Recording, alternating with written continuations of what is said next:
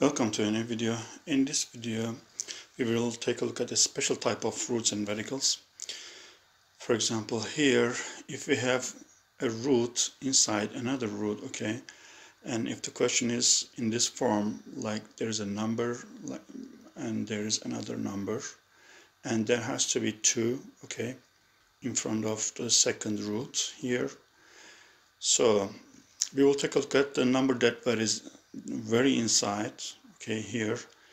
If this number which is b times c can be factored as b times c and if this number okay can be written as b plus c then the whole expression can be written as square root of b minus plus square root of c. Here if the sign between the roots okay negative then the result is going to be also negative. If the sign between the roots is positive then the result is going to be positive also. And there is one thing that we have to consider also that is let's say b is greater than c so we need to write the bigger one first. Why? Because if you write the for example let's say there's a, a minus between the roots okay? For example let's say we have 6 minus 2 square root of 8. If you look at this question, if we factor this 8 as a multiplication of two numbers, let's say 2 times 4 is 8, right? And if we add 2 by 4, which is 6, then we got the numbers that we're looking for. So this is equal to. If you write the smallest one first, 2, and then put it inside the square, and then the bigger one second 4 because there is a the sign is negative so just put the, the sign between them negative. So if you write this okay if the result is square root of 2 minus square root of 4 this is gonna be a negative number okay? Because this is gonna be a negative number and this is a square root the even root degree because the left side has an even root degree then there is not gonna be there the result cannot be a negative number. Okay let's say we have square root of x and we all know that that x has to be equal to greater than or equal to zero. So we should consider this. And from this point of view always okay this is not possible always write the bigger one first. So square root of 4 minus square root of 2 and square root of 4 is 2 so the result is 2 minus square root of 2 anyway so if there is such an expression okay there are some criteria certain requirements in order to write the right side in this form what they are well there has to be 2 in front of the second roots okay? It is a must so let's take a look at our first example here. For example, we have square root of 5 plus 2 times square root of 6. If you factor this 6, like 2 times 3, right? We can make it 2 times 3 is what? 6.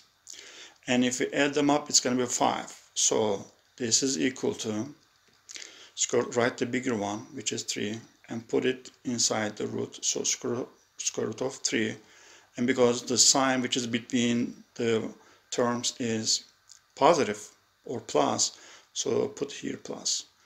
And the second number 2 so put it inside the root so the result is square root of 3 plus square root of 2 you would say that you would factor this okay 6 like 6 times 1 this is also another case. But here, if you add 6 by 1, it's not to be equal to 5. So you cannot consider this case. If you factor that number, which is 6 we have here, okay, and the addition of these numbers has to be equal to the first number that we have here. So in this first question, we have the answer as square root of 3 plus square root of 2. And let's take a look at the second case that we have on the right side. We have square root of 7 plus 2 times square root of 12 plus square root of 12 minus 2 times square root of 27 and what is the result of this? we see that we have 2 here okay and then we have 2 here so our first condition is satisfied that means we can factor the number that is very inside okay we can write this number as a multiplication of two numbers. And we have to consider that the sum of these two numbers has to be equal to 7 so if you factor 12 as for example 2 times 6 because 2 times 6 is 12 but if you add 2 by 6 it's not gonna be equal to 7 okay? So this is not gonna work. Uh, how we can factor 12 well we can write 12 as 4 times 3 right? Because if you multiply 4 by 3 it's gonna be 12 and if you add 4 by 3 this is 7 right? It is equal to the first term that we have. For the first square root okay for this one we have square root of 4 and because the sign is that is between is plus so I'm gonna put here plus square root of 3 plus and we have to factor this 27 as a multiplication of two numbers. So if you multiply 9 by 3 it's gonna be 27 and at the same time if you add 9 to 3 okay 9 plus 3 is 12 that means we can write the second term as square root of 9 I am always writing the bigger one first okay and the sign which is between the term the roots okay the numbers it is negative so I'm gonna put here minus square root of 3 and now this is what we have well we can open these parentheses and then write down the expressions we all know that square root of 4 is what? 2. We already learned this from our previous videos. So 2 plus square root of 3 plus square root of 9 is what? 3. Minus square root of 3. Why? Because mine plus times negative is going to be negative. So here, if you add 2 to 3, we're going to have 5. This is positive square root of 3 this is negative square root of 3 so we can cross them out and the leftover is square root of 5 so the final answer is square root of 5 in this case. We have two more examples but here in these questions we see that there is no 2 what if there is no 2 in front of the second root and what we're gonna do? In order to apply the method that we have learned in this video there is a must which is there has to be 2 right here right so I am putting here 2 divided by 2 so in this case in the next step I'm gonna write the expression like this 5 plus I'm gonna keep the first two inside okay? And then I'm gonna put 1 divided by 2 times square root of 21 so what I'm gonna do is I'm gonna keep this 2 okay in front of root and then I'm gonna send this 1 divided by 2 inside the root okay? So this is gonna be equal to guys square root of 5 plus now there is 2 times square root of when this 1 divided by 2 comes inside then it's gonna it becomes 1 divided by 4 right? Because if you think 1 divided by 4 if you send it to the other side it's gonna be 1 divided by 2 so you need to follow the same thing in the reverse order okay?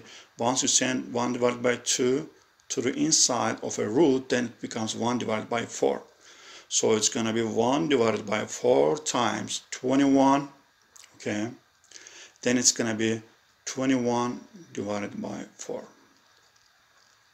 the root is this so and now in this case we need to factor 21 divided by 4 okay we need to write it as a multiplication of two numbers. So if we can write okay uh, let's say we have 3 divided by 2 times 7 divided by 2 right? If multiply 3 divided by 2 by 7 divided by 2 then we have 21 divided by 4 so if we add 3 divided by 2 by 7 divided by 2, and as you can see the denominators are same so we can add the numerators. 3 uh, plus 7 is 10 so it's going to be 10 divided by 2 which is 5 which gives us the number that we have as a first term okay inside the root. That means we can the whole expression is okay let me write it here square root of 5 plus 2 square root of 21 divided by 4 is okay square root of always I'm writing the bigger one first okay? 7 divided by 2 plus square root of 3 divided by 2 and you can write this expression also as square root of 7 divided by square root of 2 okay. Plus square root of 3 divided by square root of 2 in roots if there is a root in the denominator then we need to get rid of that too. This is the general method that is applied in the roots and radicals. So how we can get rid of this square root of 2 well just multiply it by itself. Square root of 2 square root of 2 so square root of 2 times square root of 7 okay let me write it here square root of 14 okay divided by square root of 2 times square root of 2 which is square root of 4 which comes out as 2 plus and square root of 2 times square root of 3 which is square root of 6 okay square root of 6 divided by again we have another 2 because the denominators are the same so we just add the numerators which gives us the answer as square root of 14 plus square root of 6 divided by 2 okay this is the final answer guys. This is the result of the question. Now let's take a look at our last example in this video. Again if you factor before actually factoring these three there is a must okay which is we have to put here 2 once you do it you have to put here in the denominator part 4 okay this is what we did in our previous example. So the question becomes 2 minus 2 square root of 3 over 4 and now we can factor 3 over 4 and we can write it as a multiplication of three number two numbers so 3 divided by 2 times 1 divided by 2 gives us 3 divided by 4 so the result is square root of 3 divided by 2 minus square root of 1 divided by 2. Again, we have square root of 3 divided by square root of 2 minus square root of 1 is what? Let me write it first actually. Square root of 1 divided by square root of 2.